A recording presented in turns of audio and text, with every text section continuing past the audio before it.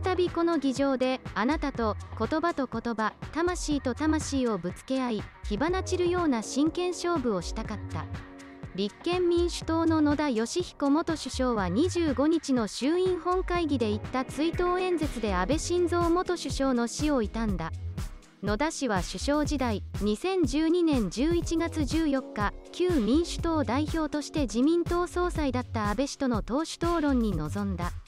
その際議員定数と議員歳費の削減を条件に衆院解散を宣言した。演説で野田氏はあなたの少し驚いたような表情。その後の町長発しそれら一瞬一瞬を決して忘れることはできないと振り返った。野田氏は安倍氏についていつの時も手強い論客だったと強調。少しでも暇好きを見せれば容赦なく切りつけられる。張り詰めた緊張感激しくぶつかり合う言葉と言葉。それは1対1の果たし合いの場だったと述べた。野田氏は演説で2回の密談の場面も明らかにした。一つは12年12月26日皇居での安倍新首相の信任式の際の控え室でのやり取り。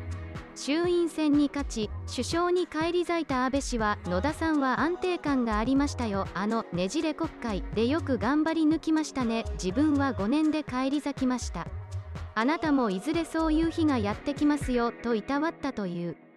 野田氏はその場はあたかも傷ついた人を癒すカウンセリングルームのようだったと語った。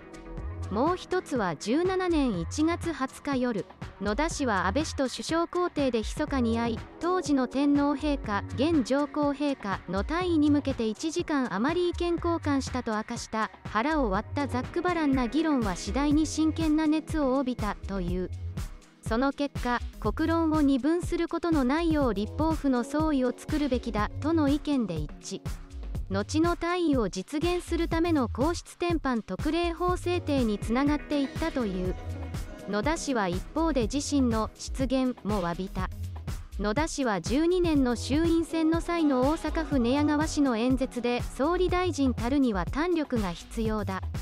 途中でお腹が痛くなってはダメだと発言したことを挙げ語るも恥ずかしい大失言だと指摘。天井のあなたに深く深くお詫び申し上げると述べた。